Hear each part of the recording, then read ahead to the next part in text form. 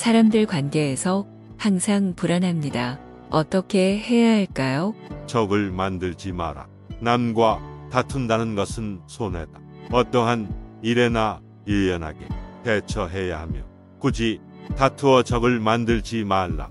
아무리 머리가 좋고 재능이 있더라도 인간 관계가 좋지 않아서 실패한 사람도 많다. 저만 비춰져 있는 것 같아 마음이 우울합니다.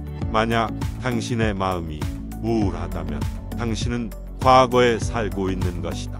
만약 당신의 마음이 불안하다면 당신은 미래에 살고 있는 것이다. 만약 당신의 마음이 평온하다면 당신은 현재에 살고 있는 것이다.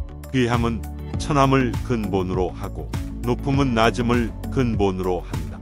주위의 사람들은 화려한데 저만 너무 누추한 것 같아 속상합니다. 탐욕보다 큰 재앙은 없다.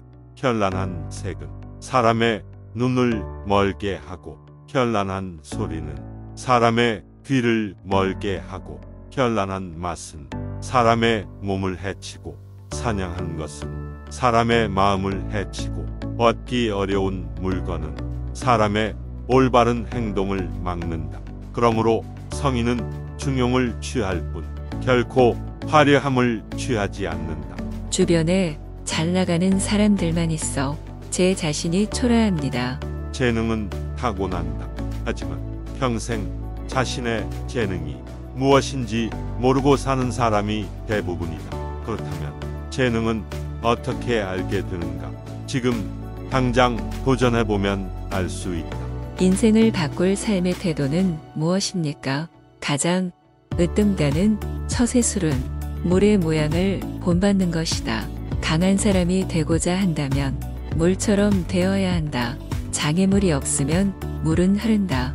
물은 부드럽고 마음대로 흐르기 때문에 물은 무엇보다 필요하고 또 무엇보다도 강하다. 물은 만물의 혜택을 주지만 스스로를 내세워 만물과 다투려 하지 않으며 모두가 싫어하는 낮은 곳으로만 흐른다. 그러므로 도에 가깝다 할 수 있다. 사람들 관계에서 중요한 것은 무엇일까요? 다시 한번 말하지만 제발 적을 만들지 마라. 남과 다툰다는 것은 손해다. 어떠한 일에나 유연하게 대처해야 하며 굳이 다투어 적을 만들지 말라.